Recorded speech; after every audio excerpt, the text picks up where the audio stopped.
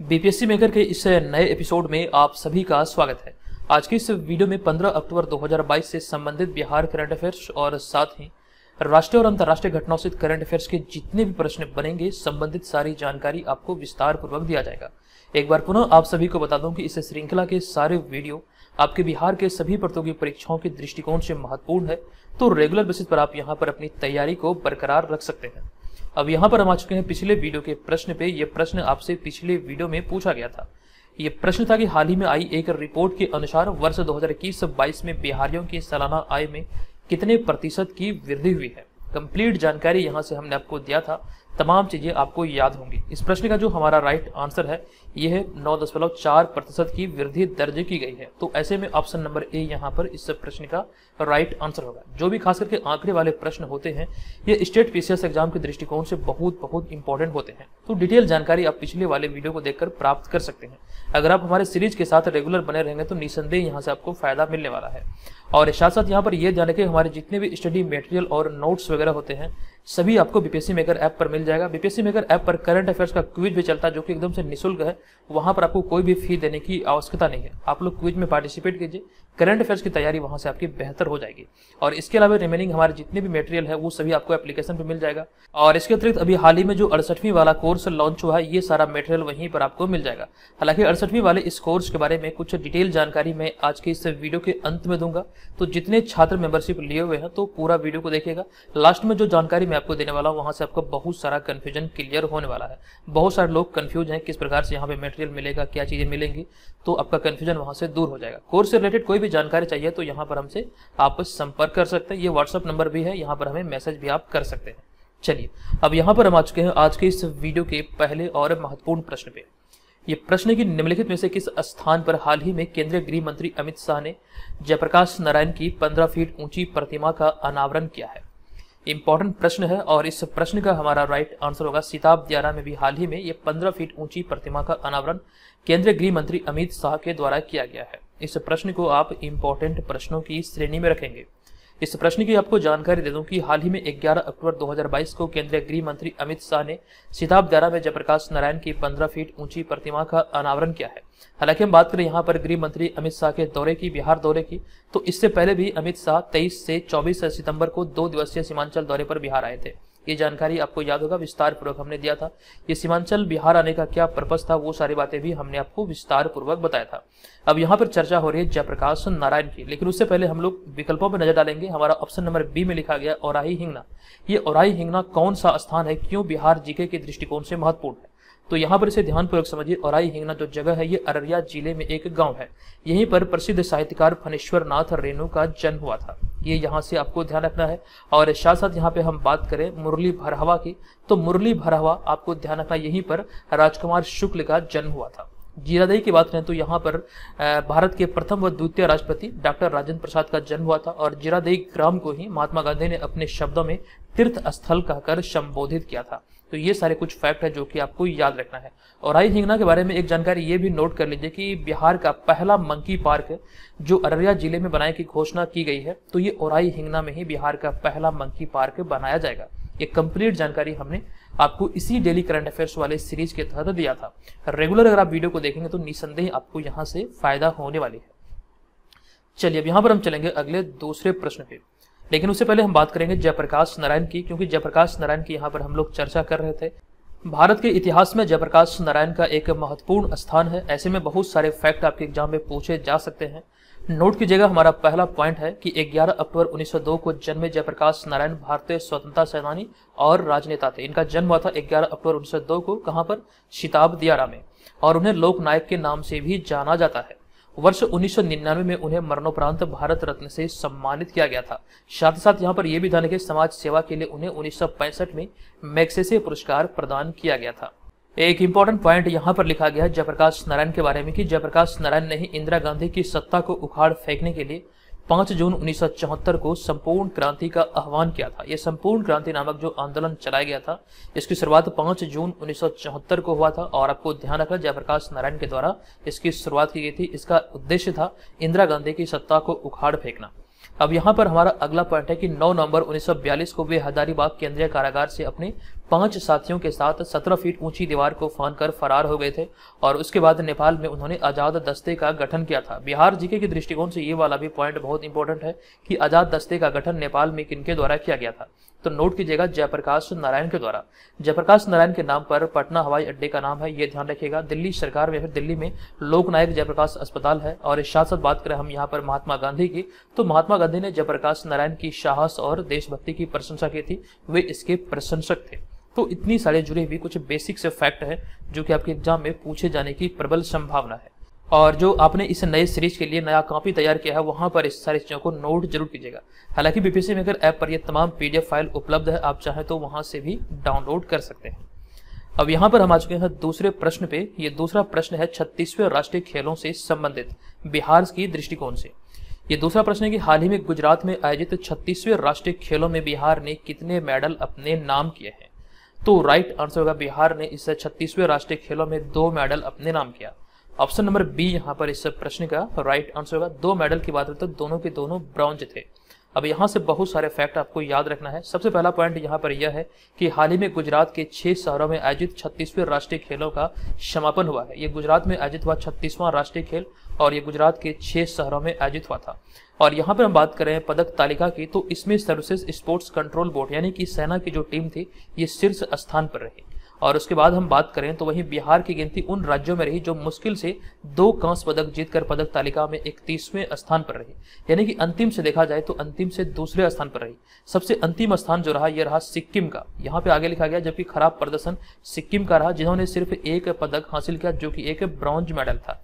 तो यहाँ से आपको ध्यान रखना सबसे अंतिम स्थान पर था सिक्किम, लेकिन सेकंड लास्ट जो था, ये अपना बिहार था। दो ब्रॉन्ज मेडल यानी कि दो कांस्य पदक के साथ छत्तीसवें राष्ट्रीय खेलों के जो पदक तालिका थे, उसमें इकतीसवें स्थान पर रहा। हालाँकि इसकी डिटेल जानकारी, ये कंप्लीट चार्ट हम यहाँ थोड़ी देर बाद देखेंगे। हम यहाँ पर इसे स्किप करते हुए चलते हैं अगले तीसरे प्रश्न पे। ये प्रश्न की निम्नलिखित में से कौन भारत के पचासवें मुख्य न्यायाधीश के रूप में कार्यभार संभालेंगे? तो हाल ही के घोषणा के आधार पर इस प्रश्न का राइट आंसर होगा डी वाई चंद्रहूट, जिन्हें कि आप यहाँ पर इस इमेज में भी देख सकते हैं। तो इस तरह से आपको ध्यान रखना, डी वाई चंद्रहूट इस प्रश्न का राइट आंसर है। नोट कीजिएगा कि देश के पचासवें मुख्य न्यायाधीश जस्टिस धनंजय यशवंत चंद्रहूट होंगे, जिन्हें की शॉर्ट में आप याद रख सकते हैं, डी वाई चंद्रहूट। हमारा अगला पॉइंट है, डी वाई चंद्रहूट 9 नवंबर 2022 को चीफ जस्टिस बनेंगे और उनका कार्यकाल 10 नवंबर 2024 तक होगा। इसमें एक पॉइंट यहाँ पर आपको याद रखना है कि जस्टिस चंद्रहूड यानी कि डी वाई चंद्रहूड के पिता यशवंत विष्णु चंद्रहूड देश के सोलहवें चीफ जस्टिस थे और उनका कार्यकाल 12 फरवरी 1978 से 11 जुलाई उन्नीस सौ पचासी तक लगभग कह सकते सात साल तक रहा था, जो कि किसी भी न्यायाधीश का अब तक का सबसे लंबा कार्यकाल है। और एक पॉइंट यहाँ पर यह भी है कि यह पहली बार है जब पिता के बाद बेटा सुप्रीम कोर्ट के मुख्य न्यायाधीश बने हैं। अब यहाँ पर देखिए, दो पॉइंट बहुत बहुत इंपॉर्टेंट है। सबसे पहला पॉइंट यहाँ पर आप इस, इसको याद रखेंगे कि अब तक जितने भी मुख्य न्यायाधीश हुए हैं, ये इनका सबसे लंबा कार्यकाल है सात साल का। इनका नाम ध्यान रखें, जस्टिस डी वाई चंद्रहूड के पिता है यशवंत विष्णु चंद्रहूड जो कि भारत के सोलहवें चीफ जस्टिस थे। और इस प्रकार से दूसरा पॉइंट आपको याद रखना है कि भारत के इतिहास में, चीफ जस्टिस के इतिहास में ऐसा पहली बार है जब एक पिता के बाद उनका बेटा भी सुप्रीम कोर्ट का चीफ जस्टिस बना है। तो ये दोनों पॉइंट अपने आप में बहुत महत्वपूर्ण है। दोनों एग्ज़ाम में पूछे जाने की प्रबल संभावना है। दोनों को नोट कर लीजिएगा।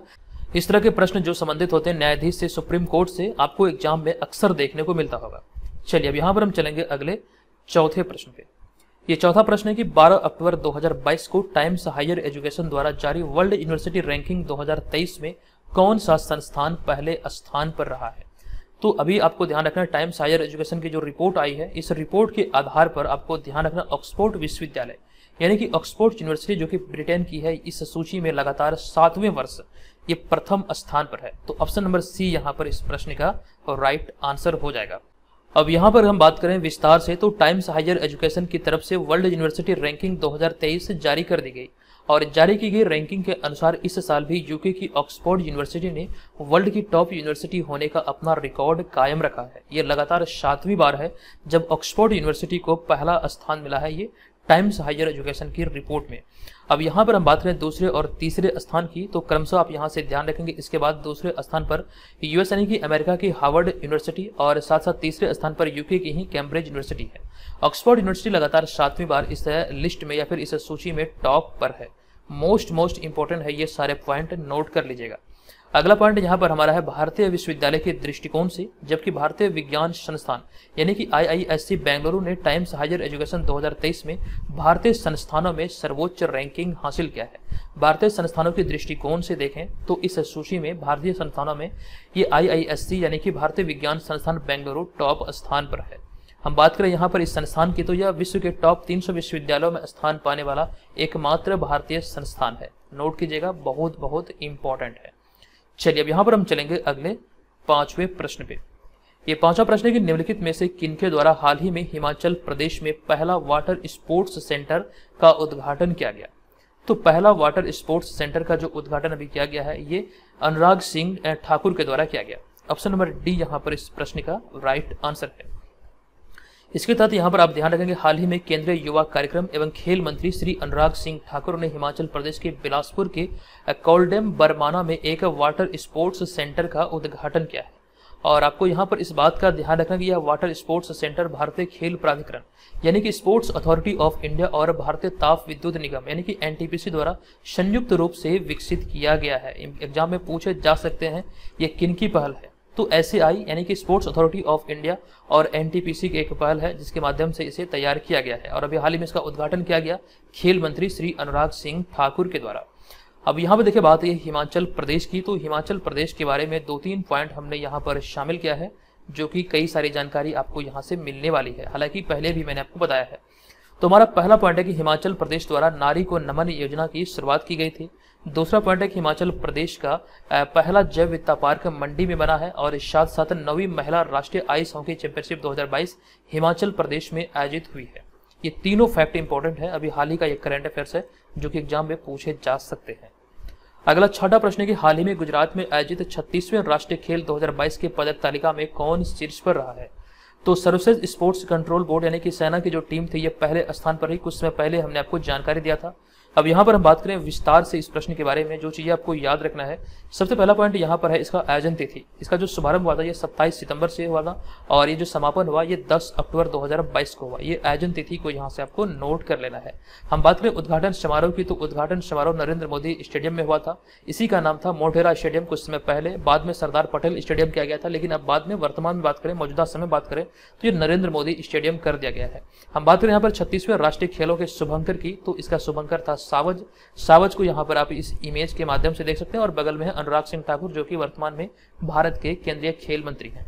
हम यहाँ पर बात करें अगले पॉइंट की, जो कि आप यहाँ पर इस सूची को देखेंगे। पहले स्थान पर रहा सर्विसेज़ स्पोर्ट्स कंट्रोल बोर्ड यानी कि सेना की टीम जिसने की इकसठ गोल्ड मेडल अपने नाम किया। और सिल्वर की बात करें तो 35 सिल्वर ब्रॉन्ज की बात करें तो कुल 32 ब्रॉन्ज इसने अपने नाम किया।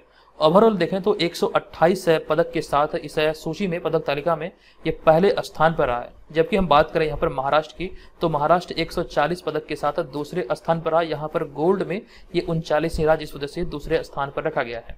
हम बात करें यहाँ पर हरियाणा की तो हरियाणा 116 पदक और वहीं पे हम बात करें बिहार की तो बिहार इकतीसवें स्थान पर रहा है दो कांस्य पदक के साथ। सबसे अंतिम स्थान जो रहा है सिक्किम का रहा, सिक्किम ने एक कांस्य पदक हासिल किया। इस प्रकार से यहाँ पर आप इस चार्ट को याद रख सकते हैं। टॉप तीन आपके एग्ज़ाम में पूछे जा सकते हैं और अंतिम से एक दो भी पूछा जा सकता है। तो बिहार के एग्ज़ाम की आप तैयारी कर रहे हैं तो इस वाले को ज़रूर ध्यान रखिएगा। बिहार को इकतीसवां स्थान मिला है। ओवरऑल देखें तो दो कांस्य पदक के साथ पदक तालिका में इकतीसवां स्थान था बिहार का। इसमें अंतिम स्थान सिक्किम का रहा है। अब यहाँ पर हम बात करें भारतीय ओलंपिक संघ की घोषणा हुई अभी हाल ही में। सैंतीसवें राष्ट्रीय खेलों के बारे में। हालाँकि कल वाले वीडियो में मैंने आपको इसकी जानकारी दी थी। कि भारतीय ओलंपिक संघ की घोषणा के अनुसार गोवा अगले साल अक्टूबर 2023 में राष्ट्रीय खेलों के सैतीसवें संस्करण की मेजबानी करेगा। विस्तार पूर्वक हमने कल वाले वीडियो में इसकी जानकारी दिया था। नेक्स्ट होगा यहाँ पर हमारा अगला सातवां प्रश्न। ये प्रश्न है कि किस देश के न्यू जर्सी स्थित अटलांटिक शहर में महात्मा गांधी के जीवन और उनके संदेशों को समर्पित एक संग्रहालय का उद्घाटन किया गया है? तो इस प्रश्न का राइट आंसर होगा ऑप्शन नंबर बी यानी कि अमेरिका के न्यू जर्सी में स्थित अटलांटिक शहर में इसका भी हाल ही में उद्घाटन किया गया है। ऑप्शन नंबर बी यहाँ पर इस प्रश्न का राइट आंसर हो जाएगा। आपको जानकारी दे दूँ कि अमेरिका के न्यू जर्सी स्थित अटलांटिक शहर में महात्मा गांधी के जीवन और उनके संदेशों को समर्पित एक संग्रहालय का उद्घाटन किया गया है। और इस संग्रहालय को न्यू जर्सी स्थित गांधीन सोसाइटी ने आदित्य बिरला समूह के साथ मिलकर बनाया है। मोस्ट इंपोर्टेंट है, नोट कर लीजिएगा। और यह राष्ट्रपिता को समर्पित अमेरिका में पहला संग्रहालय है। मोस्ट मोस्ट इंपॉर्टेंट है। अब यहाँ पर हमारा अगला पॉइंट है, जो कि बहुत इंपॉर्टेंट है। ये पॉइंट है कि संयुक्त राज्य अमेरिका में भारत के राजदूत तरनजीत सिंह संधु है, जिन्होंने हर्षवर्धन श्रृंगला का स्थान दिया है। ये जानकारी हमने कुछ समय पहले आपको दिया था। और विस्तार से आपको सारी बातें बताया था। वर्तमान समय के दृष्टिकोण से देखें तो अमेरिका में जो भारतीय राजदूत हैं, इनका नाम है तरनजीत सिंह संधु और ये हर्षवर्धन सिंगला की जगह पर है। हम बात करें यहाँ पर अगले पॉइंट की तो सुभाष चंद्र बोस ने 6 जुलाई 1944 को रंगून रेडियो से संबोधित करते हुए गांधी जी को राष्ट्रपिता कहकर संबोधित किया था। कई जगहों पर आप ये प्रश्न के रूप में देखते होंगे। एग्ज़ाम में कई बार ये पूछा हुआ प्रश्न है कि महात्मा गांधी को सर्वप्रथम किन्होंने राष्ट्रपिता कहकर संबोधित किया था। तो सुभाष चंद्र बोस ने, हालाँकि यहाँ पर कुछ चीज़ें और भी है, छह जुलाई उन्नीस सौ चौवालिस को ये रंगून रेडियो को जब संबोधित कर रहे थे, तभी ये बात कही गई थी। एग्ज़ाम में इस प्रकार से भी घुमा के भी पूछा जा सकता है। नेक्स्ट पॉइंट यहाँ पर हमारा ये होगा, पिछले साल 2021 में, अभी देखिए 2022 लिखा गया है एक्चुअली में यहाँ पे 2021 होगा, आप लोग सुधार कर लीजिएगा। पिछले साल 2021 में राष्ट्रपिता महात्मा गांधी के पूर्व निजी सचिव वी कल्याणम का निन्यानवे साल की उम्र में निधन हुआ था। ये जानकारी विस्तार पूर्वक हमने आपको दिया था। वी कल्याणम इनके पूर्व निजी सचिव थे, जिनका की निन्यानवे साल की उम्र में वर्ष दो हज़ार इक्कीस में निधन हुआ था। नेक्स्ट होगा हमारा यहाँ पर आठवां प्रश्न। आई होप कि आप इस सीरीज़ को एंजॉय कर रहे हैं और बहुत सारी जानकारी यहाँ से आप सीख रहे हैं क्योंकि आपके एग्ज़ाम में बहुत बहुत आपकी हेल्प करने वाली है। अगर दोस्तों लगे कि आपके लिए श्रृंखला हेल्पफुल रही है तो प्लीज़ वीडियो को लाइक कीजिए और चैनल को सब्सक्राइब करके हमें सपोर्ट ज़रूर कीजिएगा। अब यहाँ पर हमारा अगला आठवां प्रश्न है कि हाल ही में एंजेला लेंसबरी का छियानवे वर्ष की आयु में निधन हुआ है। बताएँ कि वे निम्नलिखित में से क्या थे? तो आपको ध्यान रखना, ये हॉलीवुड अभिनेत्री थी ऑप्शन नंबर ए यहाँ पर इस प्रश्न का राइट आंसर होगा। अमेरिका की रहने वाली थी और इनका नाम था एंजेला लेंसबरी। अब यहाँ पर हम बात करें विश्लेषण की तो आपको ध्यान रखना कि अमेरिकी हॉलीवुड दिग्गज अभिनेत्री एंजेला लेंसबरी का हाल ही में, यहाँ पे के नहीं बल्कि का होगा, का हाल ही में 11 अक्टूबर 2022 को छियानवे साल की उम्र में निधन हुआ है। आप यहाँ पर एंजेला लेंसबरी को इस इमेज के माध्यम से भी देख सकते हैं। और हम बात करें यहाँ पर अगले दूसरे पॉइंट की तो उनकी पहली फ़िल्म यानी कि डेब्यू फ़िल्म का नाम क्या था? ये डेब्यू फ़िल्म का नाम था गैस लाइट जो कि वर्ष 1944 में रिलीज़ हुई थी। हमारे यहाँ पे अगला पॉइंट है वर्ष 2009 में ब्लिथ स्प्रिट में उनके शानदार अभिनय के लिए सर्वश्रेष्ठ अभिनेत्री के पुरस्कार से भी उन्हें नवाजा गया था। साथ ही साथ अट्ठासी साल की उम्र में वर्ष 2013 में लाइफ टाइम अचीवमेंट के मानद ऑस्कर अवार्ड से भी उन्हें सम्मानित किया जा चुका है या फिर गया था। दोनों पॉइंट इंपॉर्टेंट है। ये यहाँ से ध्यान रखिए अमेरिका की रहने वाली है। नेक्स्ट होगा यहाँ पर अगला नवा प्रश्न। ये प्रश्न की हाल ही में 14 अक्टूबर 2022 को विश्व अंडा दिवस मनाया गया है। बताएँ कि इस वर्ष की निर्धारित थीम क्या है?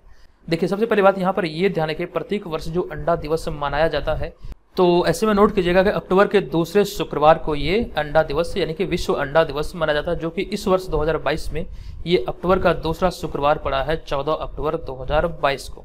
अब यहाँ पर हम बात करें इससे संबंधित पॉइंट की तो आपको नोट करना है कि विश्व अंडा दिवस की जो शुरुआत हुई थी, ये वर्ष उन्नीस सौ छियानवे में हुई थी।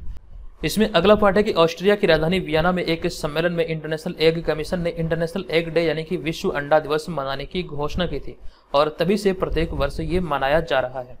हम बात करें यहाँ पर अगले पॉइंट की तो तब से हर साल अक्टूबर की, अक्टूबर महीने के दूसरे शुक्रवार को विश्व अंडा दिवस मनाया जाता है। इस वर्ष 2022 में मनाया गया है। 14 अक्टूबर को हर साल ये डेट चेंज होगा, क्योंकि यहाँ पर सीधा क्लियर मेंशन किया गया है कि अक्टूबर के दूसरे शुक्रवार को ये सेलिब्रेट किया जाता है। हम बात करें 2022 की थीम की, विश्व अंडा दिवस की तो इस वर्ष की जो थीम है, निर्धारित थीम है एग फॉर बेटर लाइफ यानी कि बेहतर जीवन के लिए अंडा ज़रूरी है। तो यहाँ पर जो इसका राइट आंसर था, ये था ऑप्शन नंबर ए नोट कर लीजिएगा। अब यहाँ पर हम बात करें अंडा की तो अंडा में प्रोटीन की प्रचुरता होती है। हालाँकि बहुत सारे पोषक तत्व और भी पाए जाते हैं अंडे में। तो मुख्य रूप से देखें तो अंडा में प्रोटीन की प्रचुरता होती है। और मैंने बताया कि इसमें और भी पोषक तत्व होते हैं। चलिए, अब यहाँ पर हम चलेंगे अगले दसवें प्रश्न पे। ये दसवां प्रश्न है कि किस राज्य सरकार ने हाल ही में स्कूली बच्चों के बीच फुटबॉल को बढ़ावा देने के लिए फुटबॉल फॉर ऑल पहल की शुरुआत की है? तो इसकी शुरुआत अभी हाल ही में उड़ीसा सरकार द्वारा किया गया। ऐसे में ऑप्शन नंबर डी यहाँ पर इस प्रश्न का राइट आंसर हो जाएगा। आपको ध्यान रखना उड़ीसा के मुख्यमंत्री नवीन पटनायक ने फुटबॉल फॉर ऑल पहल की शुरुआत की है और इस कार्यक्रम की शुरुआत फीफा ने कलिंगा इंस्टीट्यूट ऑफ़ इंडस्ट्रियल के साथ साझेदारी में किया है। ये आपको ध्यान रखना ये इसके साथ साझेदारी में एक समझौता हुआ जिसके बाद इसकी शुरुआत की गई है और इसका जो उद्घाटन भी हुआ है, ये फुटबॉल फॉर ऑल का इसका किया गया है नवीन पटनायक के द्वारा। अब यहाँ पर हम बात करें फीफा के इस कार्यक्रम की तो फीफा का यह ऐसा पहला कार्यक्रम है जिसका उद्देश्य स्कूली बच्चों में फुटबॉल को बढ़ावा देना है। इसी उद्देश्य के साथ अभी हाल ही में ये समझौता किया गया था। और इस कार्यक्रम के तहत बात करें तो लगभग 2000 स्कूलों में बच्चों को तैतालीस हज़ार से अधिक फुटबॉल वितरित किए जाएँगे। ये सारी बातें अभी हाल ही में जो चीज़ें निकल कर सामने आई है, उसी के आधार पर यहाँ पर हमने शामिल किया है। चलिए अब चलते हैं अगले यहाँ पर हम ग्यारहवें प्रश्न पे। ग्यारह प्रश्न अक्टूबर 2022 में निम्नलिखित में से कौन इराक के नए राष्ट्रपति बने हैं? तो इराक के नए राष्ट्रपति बने हैं अब्दुल लतीफ रशीद। यानी कि ऑप्शन नंबर सी यहाँ पर इस प्रश्न का राइट आंसर है। इन्हें आप यहाँ पर इस इमेज में देख सकते हैं। यही है अब्दुल लतीफ रशीद। आपको यहाँ पर ध्यान रखना कि हाल ही में अब्दुल लतीफ रशीद इराक के नए राष्ट्रपति बने हैं और उन्होंने बरहम साली का स्थान लिया है। ये दोनों पॉइंट यहाँ से इम्पोर्टेंट है। अब इराक से जुड़ी हुई कुछ ऐसे इंपॉर्टेंट फैक्ट की बात करेंगे थोड़ा सा जो इंटरेस्टिंग भी है, जो कि आप लोग शायद पहली बार ये सारे फैक्ट को जानेंगे। तो इसके तहत हमारा पहला पॉइंट है कि लोकप्रिय कहानियों में से एक अली बाबा और चालीस चोर कहानी जो है, ये इराक में ही लिखी गई थी। और बात करें हम अगले पॉइंट की तो इराक ने ही दुनिया को, यानी कि वर्ल्ड को नक्शा और कैलेंडर दिया है। इराक की ही ये पहल है। और बात करें यहाँ पर अगले पॉइंट की तो इराक ही दुनिया का पहला ऐसा देश है जिसने बताया कि एक घंटे में साठ मिनट और एक मिनट में साठ सेकेंड होते हैं या फिर होंगे। ये सारे संबंधित हैं इराक से। ये तीनों फैक्ट इराक से रिलेटेड याद रखिएगा, बहुत बहुत इंटरेस्टिंग भी है और इम्पोर्टेंट भी है। नेक्स्ट होगा हमारा यहाँ पर बारहवां प्रश्न। ये प्रश्न की निम्नलिखित में से कहा इंडिया आर्ट महोत्सव का सातवां संस्करण का आयोजन किया गया? तो इंडिया आर्ट महोत्सव के सातवें संस्करण का अभी हाल ही में जो आयोजन हुआ, ये नई दिल्ली में किया गया। ऑप्शन नंबर ए यहाँ पर इस प्रश्न का राइट आंसर हो जाएगा।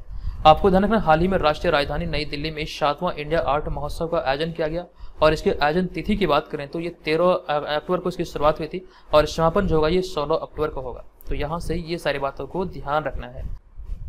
चलिए, आज का प्रश्न है कि हाल ही में बिहार का कौन सा जिला पहला शत प्रतिशत यानी कि एक सौ फ़ीसदी डिजिटल बैंकिंग वाला जिला बन गया है। विस्तार पूर्वक हमने आपको सारी जानकारी दी है। आप कमेंट करके बताइए इसका राइट आंसर क्या होगा।